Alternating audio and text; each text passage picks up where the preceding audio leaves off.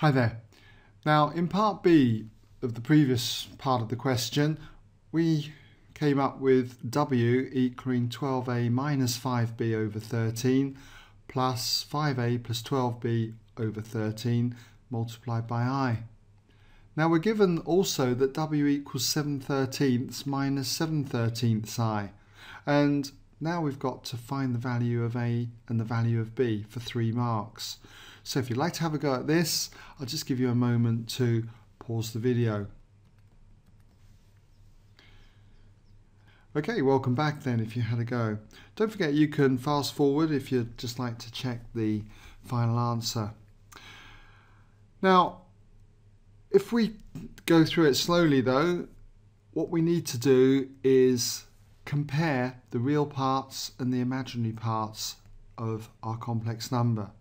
I can see that both of the parts here are over 13 so it must be that the tops must be equal to the 17 and the minus 7 so that's where we go with this okay? So I'm just going to write a note here that we equate the real and imaginary parts okay real and imaginary parts. And if we start off then with the real parts, then we've got 12a minus 5b must match up with the 17. So 12a minus 5b equals the 17. And when it comes to comparing the imaginary parts, well, 5a plus 12b must be equal to minus 7. Okay, so 5a plus 12b equals minus 7 and it's just a question now of solving these two simultaneous equations.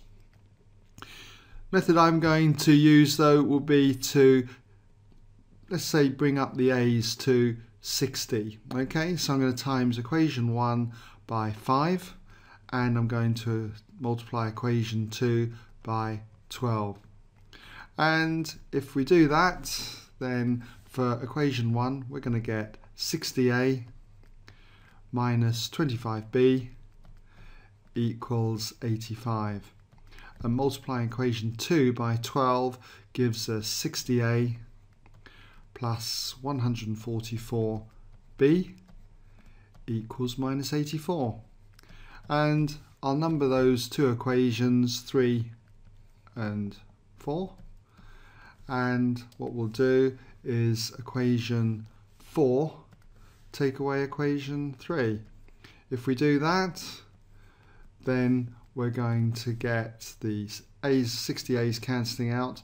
We've got 144B then minus minus 25B so that's going to be 169B and that's going to equal minus 84 minus 85 that's going to be minus 169. So that leads on to then b equaling negative 1.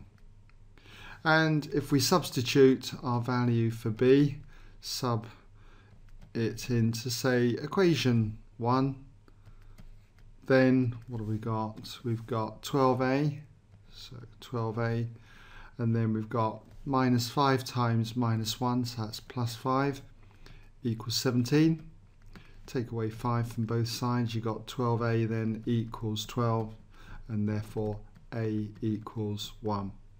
So in summary then, therefore a equals 1 and b equals minus 1. Alright?